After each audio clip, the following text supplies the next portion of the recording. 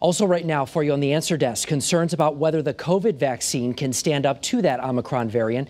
Moderna's CEO said current vaccines may not be enough for the new strain, but others don't seem to be too worried right now. Channel 3 Eyewitness News reporter Mike Savino asked some experts about all of this. He is joining us live right now from outside Hartford Hospital with what he's learning tonight. Mike? Yes, and Mark, we don't have enough data yet to make any definitive conclusions, but the doctors that I talked to, including here at Hartford Hospital, are confident that vaccines will offer some level of protection. So, why are some experts so worried about Omicron? Uh, we really don't know much at this point. Researchers are still gathering data on Omicron, the latest COVID variant of concern. But one question is will the vaccine work?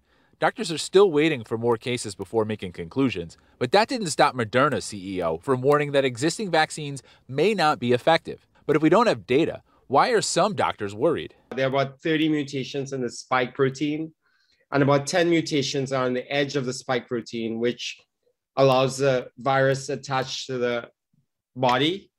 And that might make it stickier and make it look different enough so that antibodies from the vaccine or from natural immunity don't recognize it. Not everyone is sounding the alarms. BioNTech, the German company that worked with Pfizer on its vaccine, is more confident. So, what can we expect? With this virus, we've learned it's uh, kind of difficult to look into our crystal ball, but uh, we can we we can uh, uh anticipate uh, that vaccine will likely have some impact against uh, against Omicron. Local doctors think vaccines will offer some level of protection against Omicron, even if it's less. Researchers are also trying to get a sense of how serious the new strain is. What do we know about the cases we've seen so far? It's probably going to be more transmissible, seems to be affecting younger people, seems to be more mild at this point.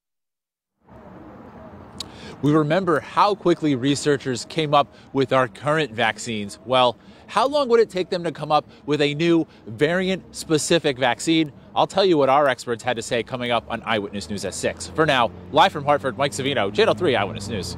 Okay, Mike, thank you very much. Meanwhile, right now, the